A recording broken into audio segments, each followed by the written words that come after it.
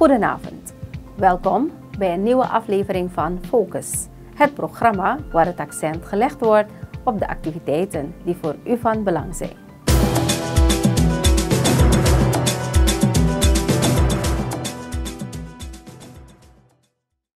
Vandaag in Focus. COFAP vergroot met minibeurs diabetes bewustwording onder jongeren. Rehabilitatie Saramaka-kanaal zal groot gebied ontwateren. En actoren wisselen van gedachten over financieringsstructuur agrarische sector.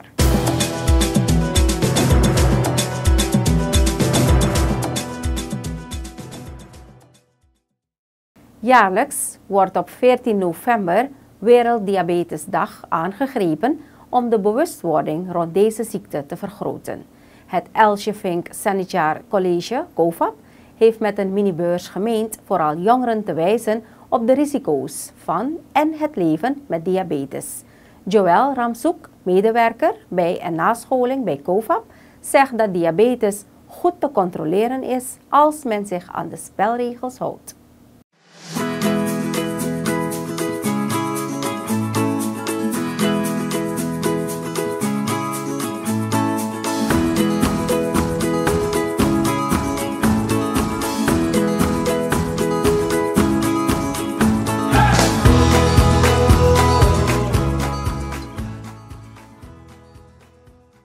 Die aan diabetes lijden, um, niet zomaar naar een, eh, naar een pedicure mogen, maar eigenlijk naar een pedicure met een medische aantekening.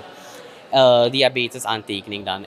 En we hebben ook nog de fysiotherapeuten, die zullen dan over het bewegen praten. Alles ligt in het kader van uh, het op- en nahouden van een healthy lifestyle, om vooral de preventies um, te stimuleren.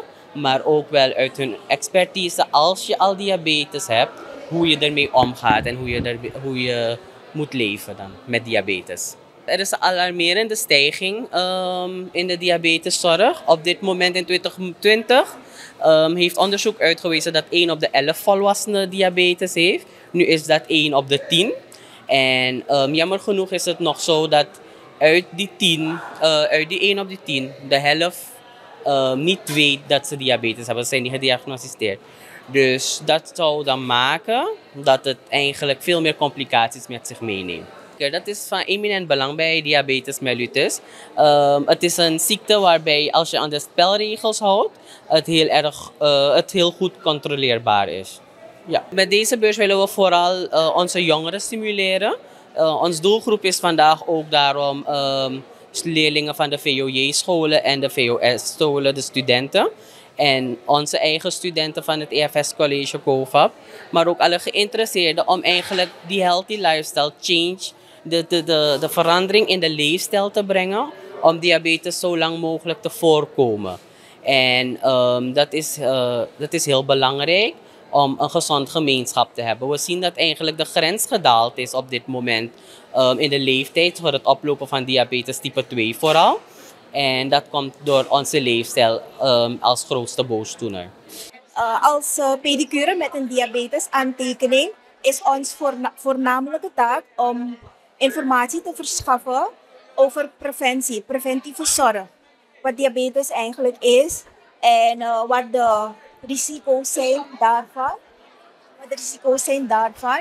En het voornaamste taak van ons is om die informatie te verschaffen uh, hoe wij de voeten kunnen verzorgen om uh, later complicaties te voorkomen, zoals uh, uh, zenuwaandoeningen, uh, doorbledingsstoornissen. En dat alles kan leiden tot een wond. En wanneer een wond niet op tijd ontdekt wordt of behandeld wordt, dan kan dat leiden tot amputatie van teen, voet of been. En het is heel belangrijk om uh, die informatie dan te geven aan de mensen, uh, zodat het niet tot zo ver komt.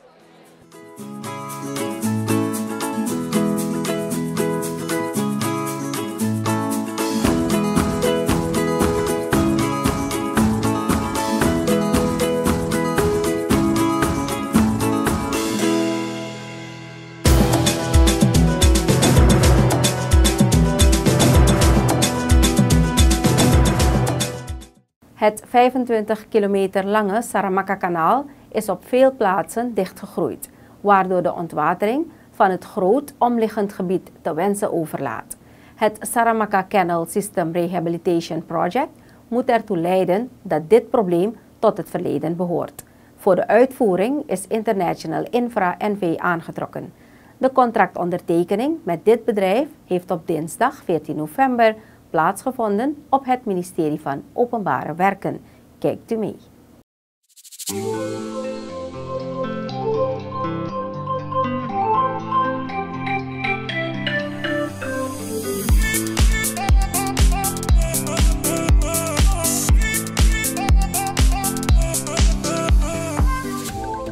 Dit project is al een hele tijdje bekend geworden en nu pas zijn we eigenlijk zover om het eerste contract te tekenen.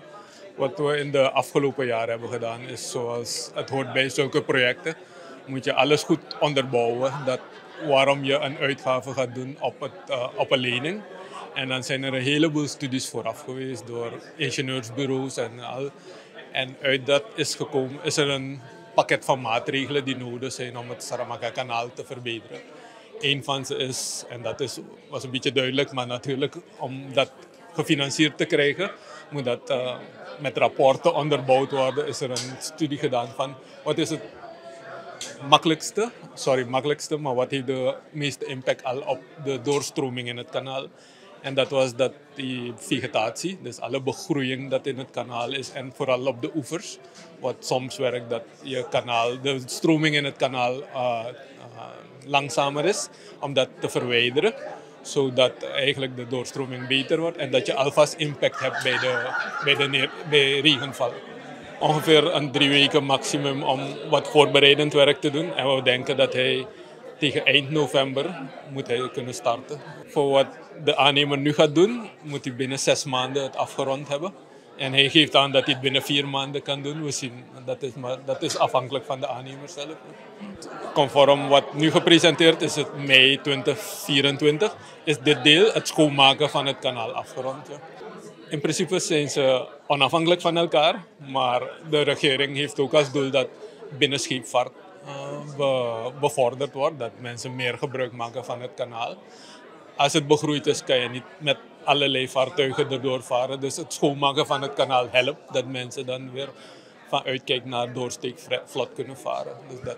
Sowieso gaan we komende dagen samen met deze aannemer en naar de buurt te gaan om mensen in te lichten van wat er gaat gebeuren. Maar in wezen gaat het heel weinig effect hebben. Wat er wordt gedaan is alle gras en begroeiing in het kanaal dat wordt verwijderd. Director of our company, I stand before you today to reaffirm our commitment to delivering this project on time and within budget. The most important customer of the company is the government of the Republic of Suriname. The company has successfully executed a lot of civil engineering and earth moving works for the government and also private sector. The company has also done social projects as part of civil engineering and earth moving works for the government. Because of the heavy rains, a lot of agriculture lands were flooded in the past years. The company proposed to the government to help the farmers saving their crops from more damage by the rains by carrying our infrastructural works on the channels among others the company has a policy of not only to make profits from projects, but also giving back to the community. Dit kanaal een goed beheersysteem moet hebben. Die oproep had ik gedaan. I mentioned from the beginning when I came here that priority should be given to the management of the channel system. I want to see that as quick as possible on our table so that we can approve it and we can start to manage it from the beginning because this is one of the main issues, problems that we have the channel with a lot of grass and problems. So as soon as we have a good management system in place, we can uh, show you that we can uh, uh, uh maintain it in a, in a good way. Ik uh, feliciteer jullie allemaal, zeker de mensen van OE, maar ook de gemeenschap, uh, met dit project. En ik kijk uit naar de uitvoering. En jullie zullen ons zeker van het veld zien voor een uh, kleine rondleiding.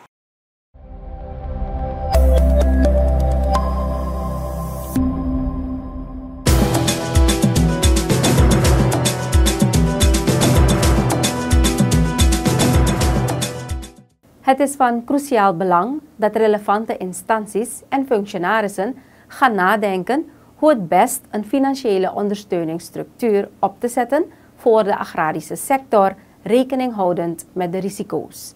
In dit kader heeft op 15 november een high-level seminar plaatsgevonden in de bankethal van Hotel Torarica. Deze activiteit richtte zich vooral op het versterken van het garantiefonds voor bedrijfskredieten. De communicatiedienst Suriname was ook aanwezig.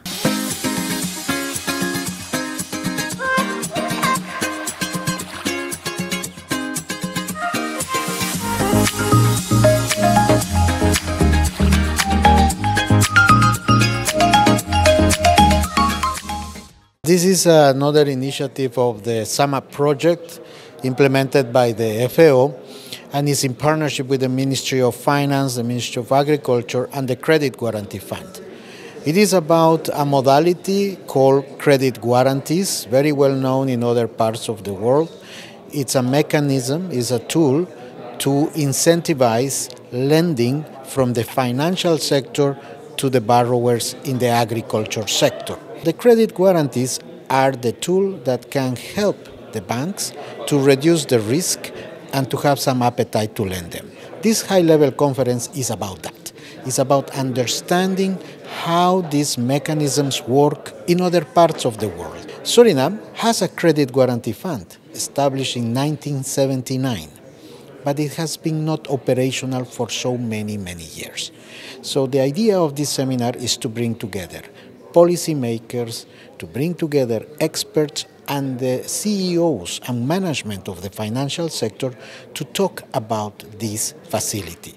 How Suriname can learn from the experiences el- elsewhere to strengthen, to build the capacities of its own credit guarantee fund, and eventually to move it, to move the capital it has to support the banks to lend further to the farmers, agro-businesses, cooperatives that are out there. It's a knowledge sharing event, but it's also an opportunity to position again in the map the existence of the Credit Guarantee Fund. Many people is not aware about it. They heard and they think it's additional money or it's a credit line. It's not none of it. It is a different financial instrument and mechanism that will help Suriname to reduce risk and expand lending to small farmers, small producers that are looking for opportunities. We, as an organization, have partnered with others to bring this expertise, and as SAMAP, we will support the institutional strengthening of the Credit Guarantee Fund by bringing experts, training, capacity building, we are uh, supporting after this event also with training for all credit and loan officers of seven banks of Suriname. More than 40 participants are going to be trained in the next four days. So, this is the beginning of a process that in six months we hope will be ready to start to help the farmers to get access to credits, not from SAMAP, but from the banks in the financial service. Credit Guarantee Fonds, het woord zegt het al, we zijn een garantiefonds voor heel Suriname. Dus alle um, financiële instellingen, in dit geval de banken, die kunnen dus een aanspraak maken uh, voor een garantie die ze voor hun klant kunnen vragen. Dus als er een bedrijf is die in principe een tekort heeft aan dekking, zoals we dat noemen, um, dan zou de desbetreffende bank een aanvraag kunnen indienen bij ons. Nou, voor ons is het heel erg belangrijk. In samenwerking met, met SAMAP en het FAO ehm, hebben wij ver, verschillende keren gezeten met ze in de meeting. En daaruit is eigenlijk gekomen die high-level seminar waarbij partijen uit het buitenland, uh, met name garantiefondsen. We hebben uit Colombia en Peru garantiefondsen hier op bezoek, bestuurders dan. In dit geval experts vanuit Costa Rica. Ehm, en uit Amerika die ook hier zijn. En wat er vandaag gaat gebeuren, zij gaan de best practices met ons delen. Uh, niet alleen met het fonds, ook de andere stakeholders zitten erin. Dus de banken zijn vandaag allemaal hier. Andere multilat multilaterale instellingen zijn ook hier uh, uitgenodigd, de stakeholders. En de bedoeling is dat wij samen gaan kijken hoe wij het garantiefonds, met name samen met de andere stakeholders, optimale gaan gebruiken. In dit geval dat er aanvragen binnenkomen en dat gaat leiden tot productie. Want uiteindelijk is het de bedoeling dat er leningen worden uitgezet voor de productiesector, met name in dit geval de agrarische sector. En dat gaat leiden tot productie in Suriname en uiteindelijk gaat ze self-sufficient worden. En in dit geval, als je ziet, Samap heeft heel wat projecten gedaan al. En samen met, uh, met ons, in dit geval het garantiefonds en de banken, moet er een meerjarige strategie uitrollen hoe wij de Surinaamse agrarische businesses gaan bedienen. En dat moet leiden tot actie. En dat is de bedoeling eigenlijk, kort samengevat.